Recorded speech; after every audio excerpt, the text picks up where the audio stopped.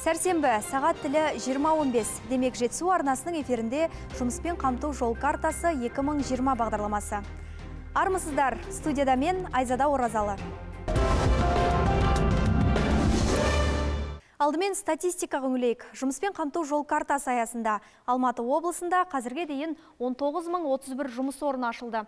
17.648 адам жұмыспен қамтылды. Оның 8.981-і арнайы орталықтар арқылы қабылданған. Бағдарлама бойынша уақытша жұмыс тапқандар арасында Алакөл ауданының азаматтары да бар. Жұмыспен қамту жол картасы аясында аймақтағы 619 тұрғын еңбекке тартылды. Жалпы мекенде 57 құрылыс жобасы қолға алынған. Бүгінде оның 45-і қолданысқа берілді. Қалған 12-сі жыл соңына дейін аяқталуы тиіс. Солардың бірі Ақши ауылындағы спорт алаңы. Аумағы 2,5 гектар. Мұнда теннис корты, волейбол және шағын футбол алаңы болады. Бұл үшін бюджеттен 270 миллион 890 мың теңге бөлінген. Жобаға 45 адам жұмылдырылыпты.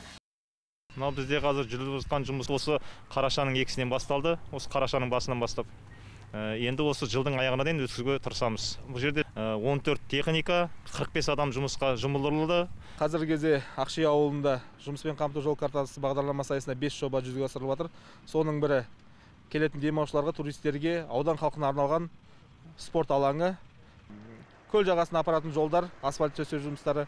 Сонымен қатар демалыс орындарының арасымен өтетін ауыз су жүйесі содан кейін мына ақши ауылының ішінде кәріз жүйесі құрылыстары жүргізіліп жатыр Ескелді ауданында мемлекеттік бағдарлама негізінде жыл соңына дейін 600 шақырымнан аса жол жөндеуден өтпек. Бұл үшін бюджеттен 19 бүтін 5 миллиард теңге бөлініп, 357 жоба жоспарланған. Аталған меже деңгейінде орындалып жатыр ма? Келесі сюжеттен көрейік. Жұмыспен қамту жол картасы бағдарламасымен өңірдегі жөндеуді қажет ететін жолдар реттелді. Бүгінде 207 жоба тапсырылған. Оның дені Ескелді ауданында. Аумақта 11 елді мекендегі 12 шақырым жол жөнделген. Жалпы 19 көше қамтылған. Келесі жылы дәл осынша жолды жөндеуден өткізу жоспарланып отыр. Бұл тағы тұрғындарды жұмыспен қамтуға мүмкіндік бермек. 552 миллион 300 мың қаражат бөлінді. Бүгінгі күнге жол жөндеу жұмыстары орташа жол жөндеу сонымен қатар ағымдық құм тас төсеу жұмыстары жүргізілді Ә, қазіргі таңда бөлінген қаражаттар толығымен игерілді Аталған мемлекеттік бағдарлама жұмыссыздарға уақытша күнкөріс табуға септесіп жатыр. Екі қолға бір күрек тауып жұмыспен қамту орталығымен тұрақты жұмыспен қамтылған да жетерлік. Жалпы облыс бойынша 4000 жаңа жұмыс орнын ашу көзделген. Бүгінде оның 95 пайызы орындалды дейді мамандар. 3337 рабочих мест 3337 жұмыс орны ашылды. Оның ішінде 1947-сі жұмыспен қамту орталығы арқылы орналасты. Қазіргі таңда 15-8 миллиард теңге қажетті мақсатқа жұмсалды. Бұл қаражат жұмыспен қамту жол картасы бағдарламасымен үш қала мен 17 ауданды қамтыды. Жалпы облыстағы жұмыс уақытылы орындалып жатыр. Мамандардың ақпарынша биылға жоспарланған жобалардың барлығы жыл соңына дейін тапсырылмақ. Мадина Берқызы, Алексей Цой, Нұржан Мұқанов, Жетісу телеарнасы. Облыс орталығында жұмыспен қамту жол картасы бойынша 38 жоба қолға алынды. Оның 11-і тұрғын үй коммуналдық шаруашылығына бағытталған. Аясында тұрғын үйлердің тозығы жеткен аулалар абаттандырылып, балалар ойын алаңдары жаңартылып жатыр. Мәселен, жастар шағын ауданындағы бүлдіршіндерге арналған мына алаңқай соңғы 40 жылдан бері күрделі жөндеу көрмеген. Енді мемлекеттік бағдарлама аясында қайта қалпына келтірілуде. Қазір жұмыстың 80 пайыз аяқталған. Жауапты Golden City серіктестігі бұл жұмыстарды желтоқсан айына дейін тегіс аяқтаймыз деп отыр. Сондай қаламыздағы номері бірінші жылу қазандығындағы табиғи газға ауыстыру жұмыстары да жемісін беруге жақын жұмыстың аяқталуы 30 қарашаға белгіленген. Бүгінгі күнде біз график бойынша үлгеріп келе жатырмыз. Асфальттық бетондық жұмыстар аяқталған. жаңағы ағаш отырғызу жұмыстары аяқталған. бүгінгі күні 70 пайыздан астам жұмыстары аяқталды жалпы жобаның сомасы 637 миллион теңгені құрайды. Жұмыспен қамту жол картасы бойынша 53 адам жұмысқа орналастырылды. Бүгінгі таңда жұмыстардың қалғаннан абаттандыру жұмыстары ішіндегі ағарту актеу жаңағындай отделочный работа дейді ғой. Сондай жұмыстар қалып отыр. Мемлекеттік бағдарлама аясындағы қызу жұмыстар Қапшағай қаласында да жүріп жатыр. Екі бірдей шағын ауданда 17 аула абаттандырылып, Шығыс Ықшам ауданында ұзындығы 3,5 шақырым көшеге асфальт төселді. Бұған қоса көп қабатты үйлерге су құбыры тартылуда. Әріптесім тарқатсын. Қараша жел 90 мен сол бір екі ай қыстың басы бір ерте біреуі жай демекші қылышын сүйретіп қыс келгенше қолға алған жұмысты соңына жеткізейік деген мердігерлерде тыным жоқ. Бұл қаладағы нөмірі бірінші және нөмірі екінші ықшам аудандағы 17 ауланың абаттандыру жұмысын қолға алған Асылтау жауапкершілігі шектеулі серіктестігі. Жоба құны 680 миллион теңге желтоқсанның басында жұмыс соңына жетеді. Мұнда атқарылған шаруа аз емес. есігінің алдында бәріне ә, полисадник ограждениелерін қойып шықтық. Орындықтар жаңадан урна мусор салатын ә, кілем қағатын несіне шейін кірілетін не- кір жаятын жерлеріне шейін.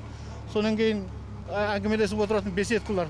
17 двордың енді 97 процент жасалып тұр барлық дворларда. Осылайша қос шағын ауданда 51 көп қабатты тұрғын үйдің ауласы абаттанды. Жаңа салынған ойын алаңқайларында бала шаға ойнап мәз мейрам. Ал ата аналардың да алғыстан өзге айтары жоқ. еңбек бұның бәрі. Өздерің бала болған уақытта мынандай кабер болған жоқ. Міне шөберелерге кабер болып тұр. Осылар қарағаны басқа жерінде болса бармайды. Енді бұл жерге халыққа керек. Өйткені мына үйлердің бәрі микрорайондардың бәрі ықшам ауданның бәрі құрылғандары жетпіс екі жетпіс бірінші жылдары ғой. Сондықтан бәрі тозған. Келешекте жаңағы үшінші ықшам аудан бар төртінші бесінші бар. Ол енді екінші уже кезекте. Олар келесі жылдан бастап олардың да жаңағы абаттандыру жұмыстары жалғасады Ал қаланың шығыс ықшам ауданында асфальт төсеу жұмыстары қызу жүріп жатыр. Мұнда 13 көшеге ұзындығы 3,5 шақырым қара жол төселмек. Бұрын мүлде сапалы жол атымен болмапты. Жұмыспен қамту жол картасы аясында биыл 360 миллион теңге қаржы бөлініп, аясында 32 адам жұмысқа тартылған. Бұл шаруа да қараша айының аяғында соңына жетеді. асфальт төсемесі екі қабаттан тұрады Ә, соның бірінші қабатын уже 11 көшесінде төсеп біттік. Енді таза асфальт төсеуге дайын. Ә, басқа екі көшесі міне дайындау үстінде жаяу жүргіншілер жолымен жоба бойынша көрсетілген жұмыстар уақытылы жүргізіліп жатыр Қала бойынша 269 көп қабатты тұрғын үй бар. Көбі 9 қабатқа дейін жетеді. Мұнда оң шешімін таппай келген бір мәселе жаз айларында 4-ші қабаттан жоғары ауыз судың қысымы баяулап қалады. Тіпті кейде тұрғындар төмен қабаттағы көршілерден су сұрауға мәжбүр. Биыл бұл мәселеде оң шешімін тапты. Бүгінде қомақты қаржы бөлініп, жетіген ауыз су құбырынан жеті жарым шақырым қосымша желі тартылып жатыр. Бұған да жұмыспен қамту жол картасы сеп. Аясында 20 шақты адам жұмыспен қамтылды. Жоба желтоқсанның ортасында аяқталады. Сөйтіп енді көп қабатты үй тұрғындары таза судан мүлде тарықпайтын болады дейді әкімдік өкілдері. Құрманжан Қасымжанұлы, Аманжол Жөнкешев, Жетісу арнасы. Ал Қаратал ауданында жұмыспен қамту жол картасы аясында тозығы жеткен платина жаңартылып жатыр. Су бөгеті 80 жыл жөндеу көрмеген. Іске қосылатын болса, Үштөбе қаласындағы шаруа қожалықтар мен 6 ауылдық округ сумен қамтамасыз етілмек.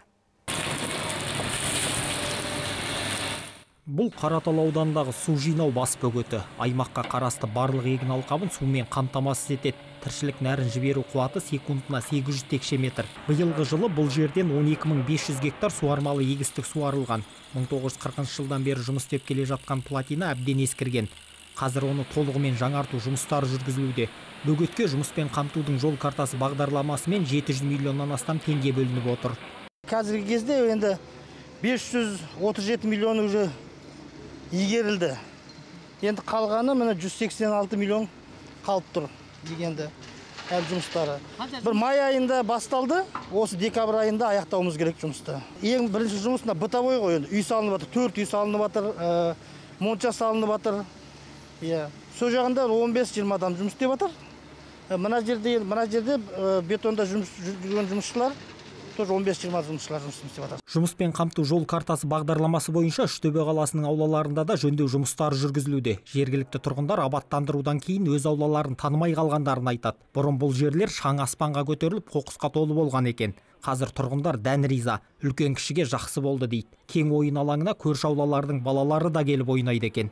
аула бұрын жел соқса қоқыс шарлап жүретін аула болатын жаңбыр жауса батпақ. Әбден а, азған тозған. Енді мінекей өздерің көріп тұрсыңдар ауламыз өте. Әдемі тамаша болды.